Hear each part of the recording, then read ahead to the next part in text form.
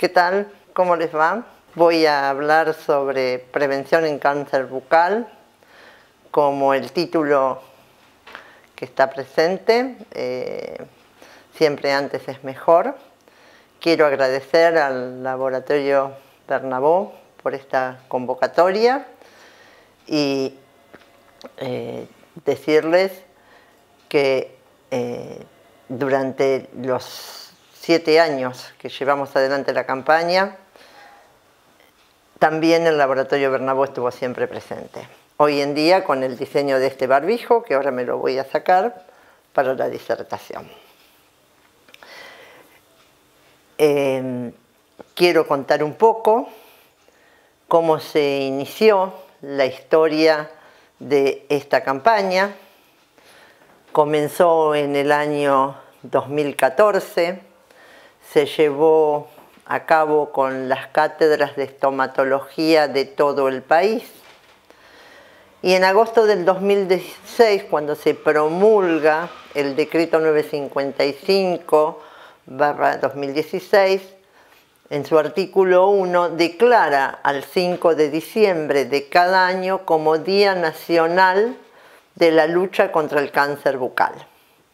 En ese año, nuestro Consejo Directivo de la Facultad de Odontología de la Universidad de Buenos Aires establece como día de la campaña el 5 de diciembre. Nuestro profesor titular, el doctor Lanfranchi, con el cual se inicia en el 2014 la campaña y al cual acompañamos todo el cuerpo de profesores de la Facultad de Odontología, de docentes auxiliares y de no docentes. Es una campaña que contó con el apoyo de la Secretaría de Extensión de la Facultad de Odontología, que brindó los trailers para poder desarrollarlos y vamos a ir viendo a través de esta presentación la presencia continua desde el 2014 del laboratorio Bernabó que comenzó haciéndonos los flyers, los eh, banners y tuvimos una fuerte campaña también a través de las redes.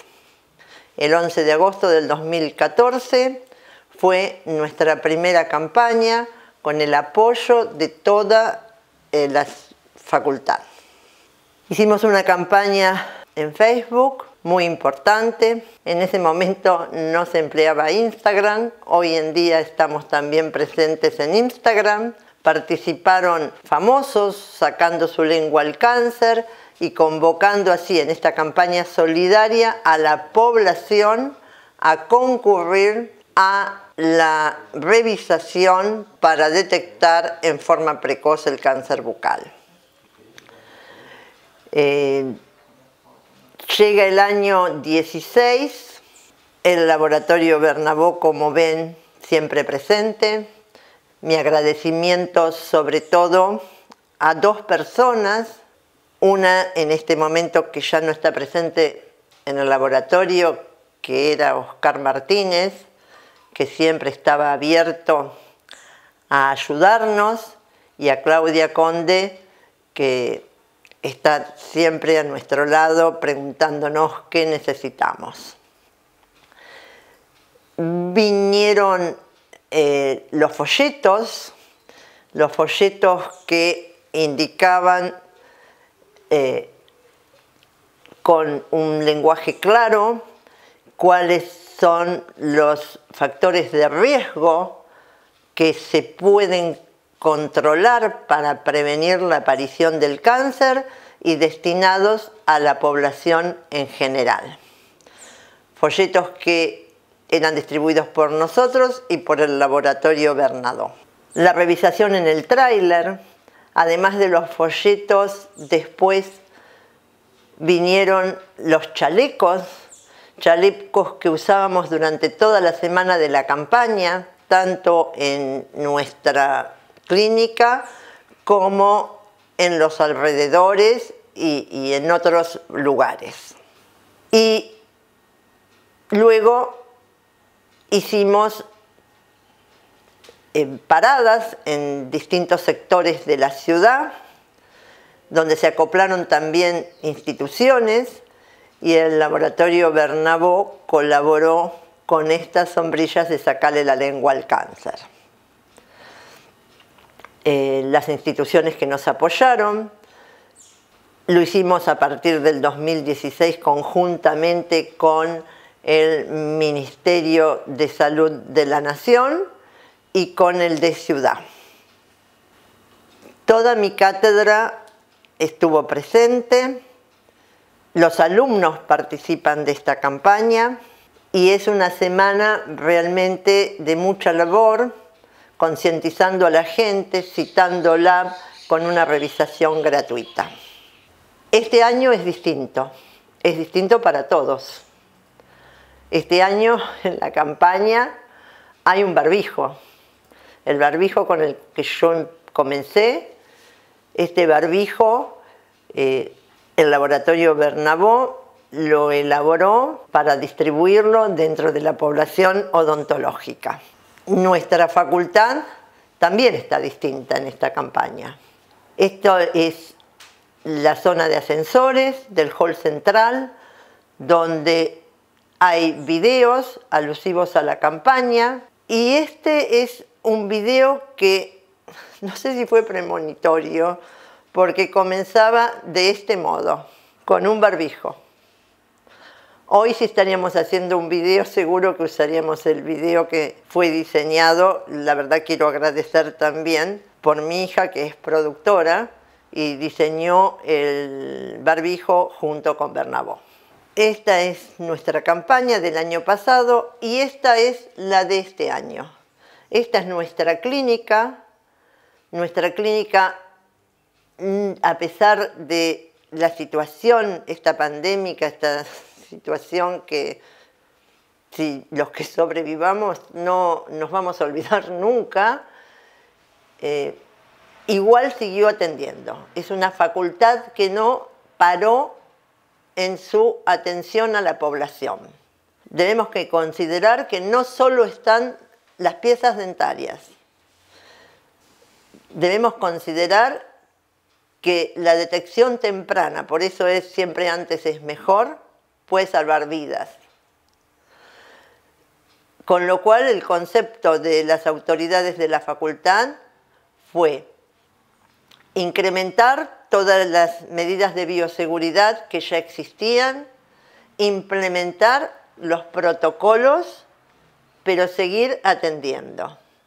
Y también va mi agradecimiento porque no todas las personas podían llegar a atender por las distintas comorbilidades y las distintas situaciones que presentaban. Sin embargo, formamos equipos de trabajo y la atención continuó y se pudo resolver problemáticas muy serias. Así que mi agradecimiento a todo el personal de la facultad y en especial al de mi cátedra, a los docentes y a los no docentes que todos los días están presentes, aunque no exista una campaña. Y en esta semana de sacarle la lengua al cáncer más. Este año la campaña se dedicó y se centró en capacitar profesionales. Nosotros tenemos un espacio que es estomatología preventiva, que es un programa de prevención en general, no solo del cáncer. Y este año decidimos hacer un curso gratuito, también apoyados por el Laboratorio Bernabó, junto con el Ministerio de Salud de la Nación, donde las personas se matriculaban y accedieron a la plataforma en esa semana 2.500 personas. Dado el éxito que fue esa capacitación, hoy en día seguimos matriculando profesionales y la hemos extendido a este curso de capacitación de la campaña hasta el día 14 de diciembre. Y ahora vamos a ver un poco de que el cáncer bucal existe, de que el cáncer bucal que eh, prevalece en, la boca es el carcinoma escamoso, el carcinoma infiltrante, que hay otros tipos de carcinoma que lo ideal sería detectar este porcentaje de in situ, si queremos prevenir, y lo ideal antes, por eso la disertación antes es mejor, es llegar antes que el in situ. La boca lo permite. ¿De qué depende? De la consulta periódica al odontólogo. Formamos muy buenos profesionales. Todas las facultades de odontología del país, me consta, forman muy buenos profesionales. Todos los profesionales salen capacitados para saber que eso que está en la boca no es normal y salen concientizados de que no van a actuar de otro modo, no van a hacer una caries, no van a colocar un implante si el paciente presenta una lesión. Y aquí el único que tiene la capacidad de ver antes es el odontólogo. No hay otro profesional por muy capaz, porque es la currícula de las facultades de odontología la que tiene en su enseñanza esta especialidad. ¿Qué es lo que vemos nosotros en nuestro servicio? El 93% se da en pacientes mayores de 40 años, el 7% en menores en ese por 7% es mucho más grave.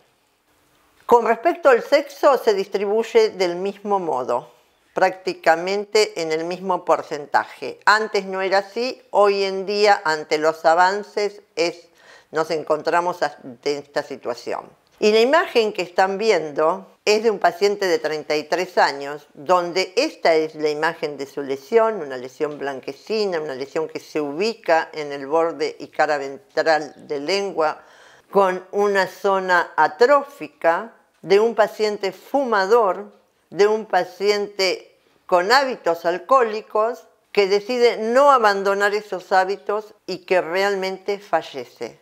Un paciente donde también es necesario llegar antes de esta lesión. Y para llegar antes de esta lesión no hay otra cosa que se pueda hacer que la consulta periódica a un odontólogo. ¿Dónde se da con mayor frecuencia ese cáncer de boca? Sin duda en la lengua y en la encía. Y acá están viendo imágenes de distintos pacientes con cánceres en el borde de lengua, en la cara ventral de lengua, en el fondo de surco, en la parte de encía palatina y en encía vestibular. Dos zonas que sin duda son dominios, si bien toda la boca es dominio del odontólogo, estas son dos zonas sustanciales. La boca nos brinda algo que es una oportunidad única. El paciente no se tiene que desvestir, lo único que tiene que hacer es abrir la boca y hay lesiones previas que aparecen en esa boca. Y de esas lesiones previas sobre las cuales se puede hacer prevención están la queratosis actínica, la eritroplasia, la leucoplasia, la ulceración traumática crónica y el líquen. Esas lesiones previas de no mediar una atención y un control tienen un alto riesgo de malignización. Están viendo en imágenes distintas situaciones donde existió transformación a través de una de esas lesiones, que es la leucoplasia en cáncer. Así vino el paciente fumador que decidió no dejar sus hábitos y así volvió cuando Mm, el servicio social de mi cátedra lo recitó porque había abandonado la citación ya con una transformación imposible de manejar. Hay dos cosas que quiero destacar del cáncer bucal. Es quirúrgico, es mutilante y es muy pequeño el porcentaje que accede a la terapéutica dirigida molecular que hoy en día existe.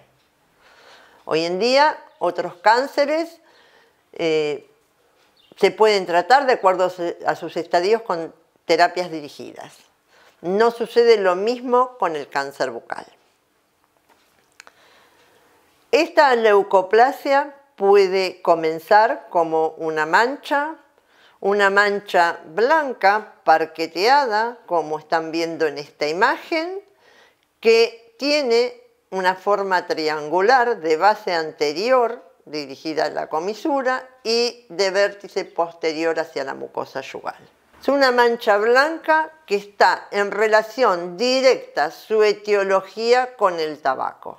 No es solo necesario aquí el eh, una campaña como que dure una semana o algunos días, como que actúe a nivel de política sanitaria nacional en cuanto a los hábitos y el daño que causan esos hábitos. No hay que pensar solo en el cáncer de pulmón. Y esto es una lesión que el odontólogo la reconoce fácilmente y que puede intervenir limitadamente en el control de un hábito. Son políticas sanitarias que tienen que comenzar en la, les diría que en los últimos años del colegio primario. Porque uno puede elegir y después es una decisión propia pero de lo que no hay conocimiento uno no puede elegir. Esta mancha puede adquirir distintas connotaciones, puede transformarse en una queratosis y tiene un riesgo mayor de malignización, puede estar coinfectada, además de el tabaco que la produjo coinfectada con un virus que ha adquirido notoriedad, que es el HPV, que también está en relación con el cáncer de cuello de útero y el cáncer de cuello de útero se ha podido controlar. Si se pudo controlar el cáncer de cuello de útero, qué mayor facilidad que el de la boca. Y puede ya tomar formas más irregulares, verrugosas, zonas vegetantes, zonas con erosiones y atrofia y por supuesto el grado de ese riesgo de malignización va a ser mayor. Como dijimos, el factor etiológico sin duda es el tabaco, pero tiene factores agravantes. El alcohol, y factores agravantes donde sí interviene directamente un odontólogo. El trauma dentario protético, que va a depender de que el odontólogo vea ese trauma y lo resuelva, la sepsis bucal y hay infecciones sobreagregadas, hongos como cándida, el HPV como dijimos, una infección viral, y el Helicobacter pylori, conocido sobre todo por la repercusión a nivel estomacal, a nivel gástrico, pero el helicobacter está en la boca. La infección comienza por la boca y el daño que provoca el helicobacter lo va a provocar tanto como lo provoca en el estómago, en la boca. Por eso, antes es mejor. ¿Quién puede hacer esto antes? un odontólogo.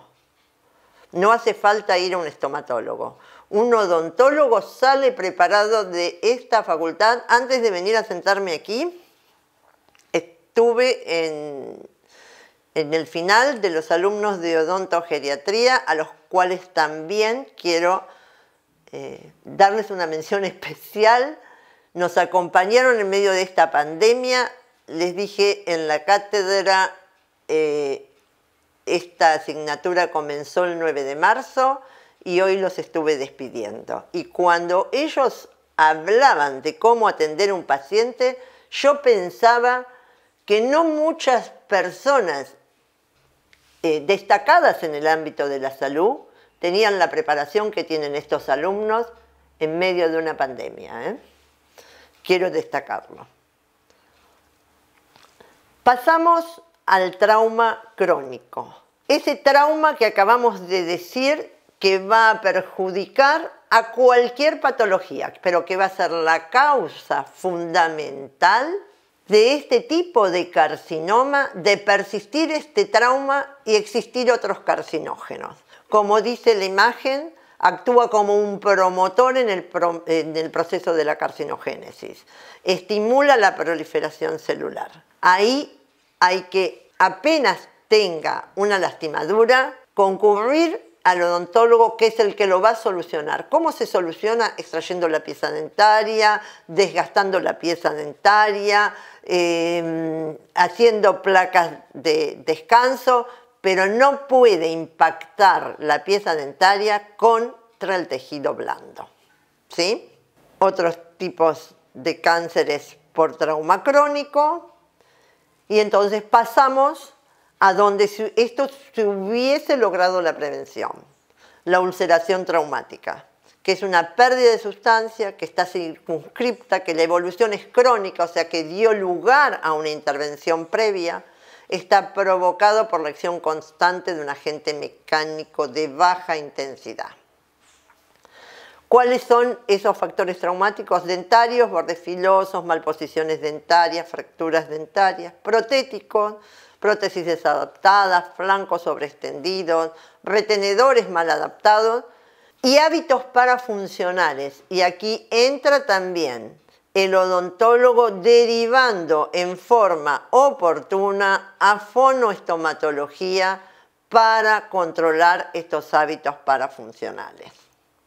Distintos casos donde la pieza dentaria está impactando con su borde agudo sobre ese dorso de lengua y ya el paciente después busca esa zona irritándose la más. Y acá este leucoedema que rodea esa pérdida de sustancia nos habla de la cronicidad. Una situación similar con el leucoedema y una pieza dentaria que lo está provocando. Y aquí tenemos en el interior de la boca un resto radicular con cúspides muy filosas que está provocando esta lesión. Otro caso de un paciente de sexo femenino que hace la ulceración, vemos el leucoedema y vemos el factor agravante. La pérdida de sustancia, la pérdida de sustancia que no tiene induración porque no es un cáncer. Ya si yo palpo una induración, tengo que pensar que esto en algún punto hizo la transformación maligna y el leucoedema y la cúspide del molar que constantemente da en esa zona. Va el desgaste, si es necesario, la extracción de la pieza dentaria. ¿Cómo se procede? Del modo que están viendo en la imagen. Se detecta el factor traumático, se desgasta, hablamos de placas protectoras, mucoprotectoras, para proteger esa mucosa. Se debe controlar ese paciente, se debe palpar esa lesión. Remisión es que paso el pulpejo del dedo sobre la mucosa y no encuentro ninguna induración. Ahí le doy el alta estomatológica. Si persiste la lesión, debo proceder a una biopsia. Y pasamos a otra de las patologías que nombré. Desde ya por una cuestión de tiempo no me voy a dedicar a todas, me estoy dedicando a las que revisten mayor gravedad en nuestro ámbito, y es el líquen, en sus formas atípicas que si el paciente fuma puede transformarse en una leucoplasia secundaria porque el tabaco va a dañar a cualquier patología y si el paciente no fuma y no se interviene, esa forma atípica puede ir a un inicio de un carcinoma in situ, a un carcinoma de células escamosas o a un carcinoma verrugoso de Ackermann. Como vimos en el inicio, nosotros en la consulta a pesar de todos estos programas preventivos, todavía vemos un porcentaje importante de carcinoma de células escamosas. Paciente que concurre a la consulta con atrofia, mancha blanca, queratosis y una zona vegetante verrugosa en algún sector donde ya ha hecho su carcinoma y donde se pueden detectar características clínicas e histológicas de líquen en sus inmediaciones. Otros pacientes con situaciones similares y este paciente hace con un líquen su cáncer en este borde de lengua. ¿Qué es el líquen? Es una enfermedad mucocutánea inflamatoria crónica que tiene un compromiso inmunológico que es de riesgo de transformación en cáncer en la mucosa bucal, no en la genital, no en piel y no en faneras donde también puede manifestarse. Y sus manifestaciones bucales tienen diferentes formas clínicas. Es de compromiso inmunológico y está en relación con un gran infiltrado linfocitario. Es el líquen plano bucal característico de la zona de mucosa yugal media y posterior. Se ve entre el 1 y 4% de la población, entre la cuarta y séptima década de vida y es más frecuente en mujeres. Y las formas que tienen riesgo de malignización son la erosiva, atrófica y queratóxica. ¿Cuáles son los factores agravantes locales? Los mismos que he nombrado en todos los anteriores. Trauma dentario protético, sepsis bucal, infección sobreagregada por candidiasis, HPV, helicobacter, tabaco y alcohol. Y acá se agrega otra cosa. Como tiene compromiso inmunológico y es una reacción de tipo 4, las restauraciones metálicas, los retenedores de prótesis, coronas o puentes de metal, deben tenerse cuidado con estos líquenes. Se debe tener respeto a estos líquenes. ¿Cuál es el factor general que acompaña? Diabetes, hipertensión arterial, enfermedades hepáticas, estrés emocional. Esto es importante en el desencadenamiento del líquen, pero estos factores también son muy importantes si este paciente con líquen va a tener un cáncer, porque no es la misma respuesta al tratamiento si uno llega sin todos esos antecedentes que si uno llega con todas estas comorbilidades. Pasa como en el COVID. No es lo mismo un paciente que tenga COVID sin comorbilidades que el que llega con COVID con diabetes, hipertensión y eh, factores hepáticos, sobre todo diabetes, e hipertensión y eh, compromiso cardíaco. Las manchas que acompañan al líquen, conocidas como estrías de Wittgen, y que encierran sectores de tejido sano, en sus formas típicas y ya vemos formas atípicas que hay que controlar con erosiones, erosiones de mayor tamaño, zonas de queratosis. Todo esto necesita control. El control es desde el momento que se diagnostica en esta patología hasta siempre. Es como el que tiene diabetes, como el que tiene hipotiroidismo, tendrá que tener medicación de por vida y será controlado. Acá es igual. O sea que si hablábamos de un control periódico odontológico, aquí ese control periódico odontológico se ve acentuado. Y es aquí donde también se necesita un compromiso y conocimiento del sistema de salud. Porque no es que por el plan que tiene la persona le corresponde una consulta al año. Serán todas las consultas que sean necesarias. ¿Qué hacemos con todas estas patologías? Todas se van a atender del mismo modo. Una inspección clínica detallada de la cavidad vocal, la extensión de las lesiones, localización de las mismas. Quiero destacar esto de la inspección clínica minuciosa de la mucosa bucal, porque de pronto como la campaña se llama sacarle la lengua al cáncer, se cree que lo único que hay que revisar es la lengua y controlar el cáncer de lengua. Se debe controlar toda la boca. El odontólogo sale capacitado para eso. Ver las lesiones, dónde se localizan, solicitar análisis de laboratorio, solicitar estudios por imágenes. Hoy en día nuestra facultad cuenta con una cátedra y un servicio de imágenes de avanzada. Y biopsia y solicitud de estudio anatopatológico e inmunohistoquímica. Hoy en día existen estudios que permiten saber si estas patologías pueden tener riesgo de malignización por los cambios genéticos que sufren. Y eso está al acceso de nuestros pacientes.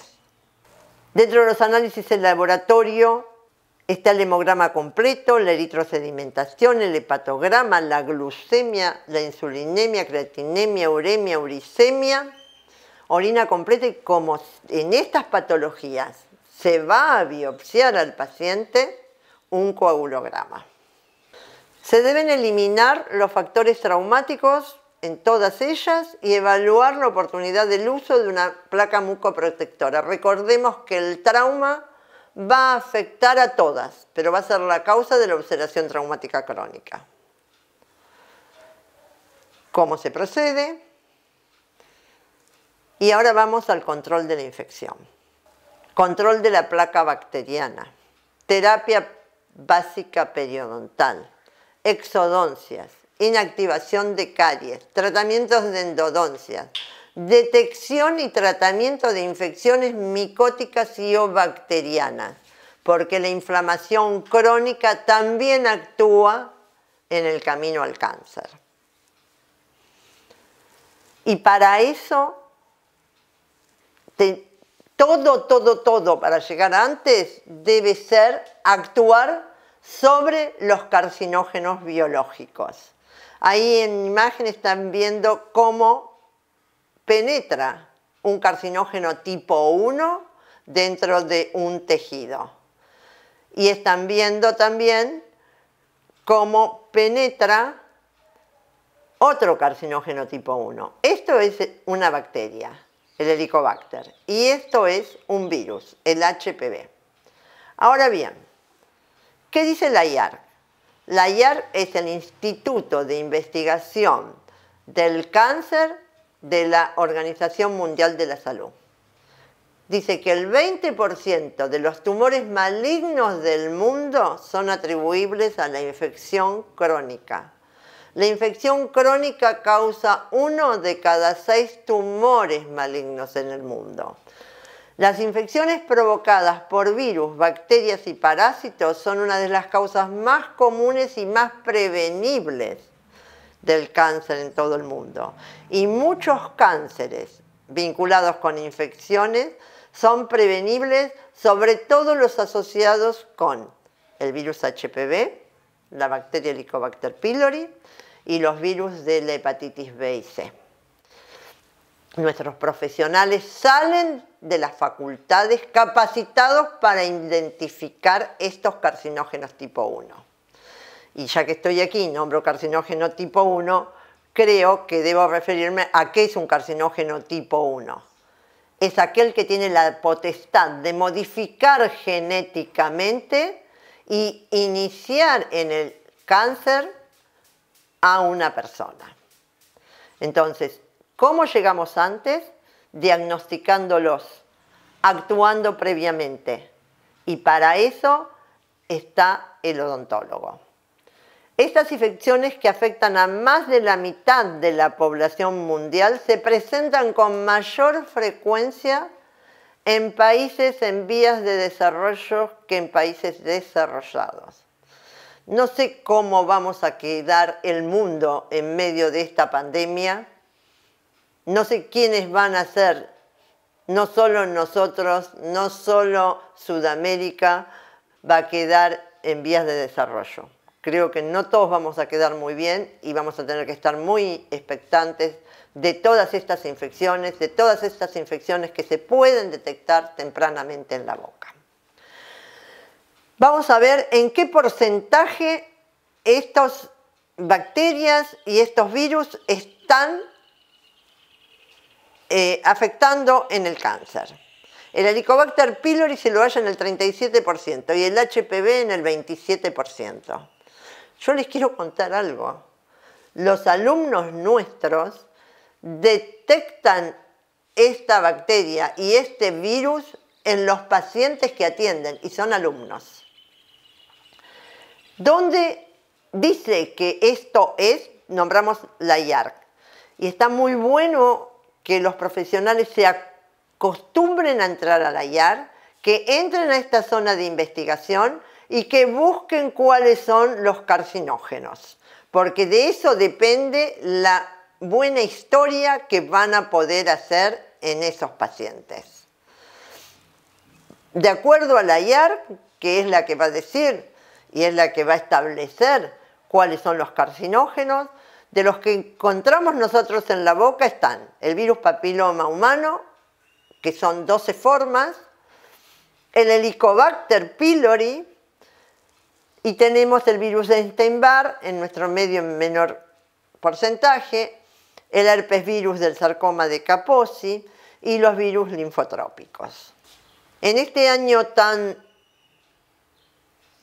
pandémico, tan difícil, la facultad para prevenir el cáncer, en el primer lugar que actuó fue preparando a los futuros odontólogos. Y justamente es en ese pregrado universitario donde debemos esmerarnos para que el odontólogo aprenda todo esto. La pandemia no impidió que nuestros alumnos en esta disciplina lograran estos objetivos. Aquí tienen una imagen de Zoom, cómo se mostraron, cómo ellos tenían que establecer qué tipo de lesión y cómo actuar. Y la verdad que lo demostraron con creces. Todo mi reconocimiento a estos alumnos de odontogeriatría, medicina bucal y clínica estomatológica. Esto no se soluciona con una campaña, tiene que haber programas. De hecho, nuestra facultad, nuestra universidad, cuenta con un programa que se llama Estomatología Preventiva, donde vamos a los colegios y enseñamos los factores de riesgo social y donde buscamos las infecciones que presentan en la boca desde niños hasta padres hasta maestros. ¿Cómo piensan que va a llegar este niño a los 40 años de edad? ¿Con aguas contaminadas? con riesgo de tener infección por helicobacter, con riesgo de tener infección por HPV, donde hoy en día tenemos la suerte de que existe la vacunación, y con riesgo de hábitos lesivos como son el tabaco y es el alcohol. En algunos medios es mucho más fácil acceder a la información, en otros no. Aquí nos ven a nosotros enseñando en las escuelas, nuestros alumnos yendo a revisar a esos pacientes. Año 2010 es, eh, es una campaña que comenzó en el 2010. Aquí están solicitando los alumnos. Yo cuando veo esto realmente me emociono de pensar que un alumno está pidiendo un estudio de biología molecular para una infección bucal. También quiero agradecer la generosidad de las autoridades que me acompañan en la gestión, decano, vicedecano, secretarios, donde ante esta problemática no dudaron en permitirme abrir en estos días el primer laboratorio molecular clínico que va a funcionar en mi cátedra para poder llegar antes a todas estas infecciones. Hemos ido a distintos lugares. Este es un comedor de Quilmes.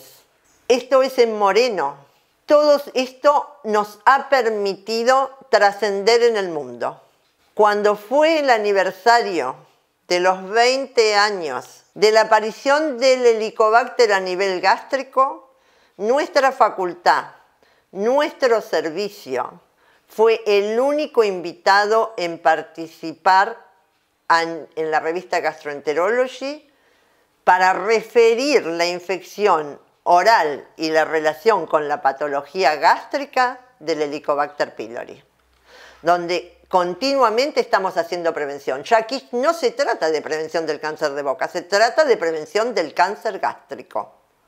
En el 2008, un investigador dijo que el equipo de la doctora Adler podía actuar antes a nivel de los cambios erosivos e inflamatorios de la mucosa gástrica a través de una manifestación que era la litosis y así diagnosticar tempranamente la infección por Helicobacter pylori. Eso es llegar antes. No hay otro modo para llegar antes. Se puede llegar antes. Nuestros docentes han participado, a pesar de la pandemia, del Congreso Internacional de Gastroenterología y Hepatología que se desarrolló en París. La doctora Muiño presentó el riesgo del biofil y el dorso de lengua infectado por el Helicobacter pylori como primer reservorio extragástrico. En realidad, hoy en día ya no creemos que sea el primer reservorio extragástrico. Es el primer reservorio. Y lo discutió ante gastroenterólogos de primer línea en el mundo.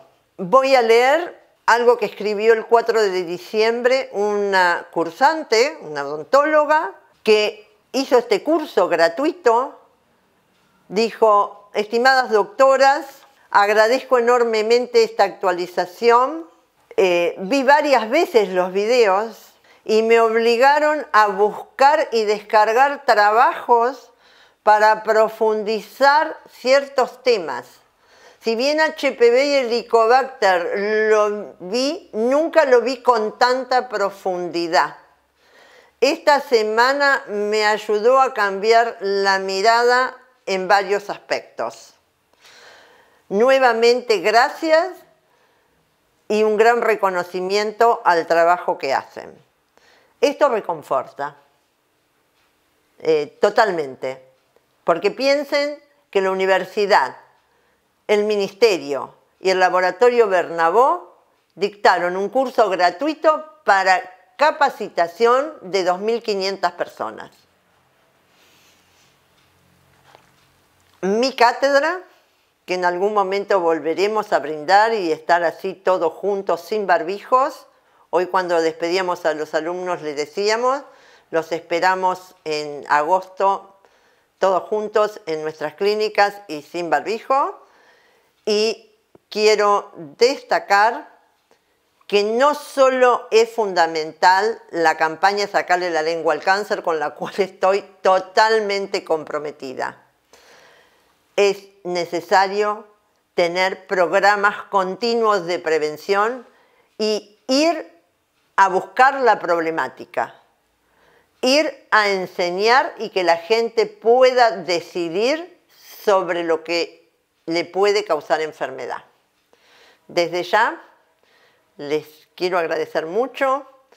Quiero agradecer mucho también a las personas que están aquí en mi hogar, a las cuales no las quise dejar pasar, porque vivo en una burbuja, una burbuja donde no entran mis hijos, no entran mis nietos, y cuando vi a tres personas aquí en mi living, eh, dije, no, esto no va a ser así, les agradezco mucho, fueron muy cuidadosos con todo, eh, disculpen eh, lo que sucedió en primera instancia, estamos totalmente consustanciados con las medidas preventivas, con el aislamiento, con el distanciamiento, con el respeto al uso de barbijos, han sido todos muy respetuosos y espero que esto haya sido de utilidad para todos y nuevamente agradecer al Laboratorio Bernabó y a Claudia y un recuerdo donde esté a Oscar Martínez. Gracias a todos.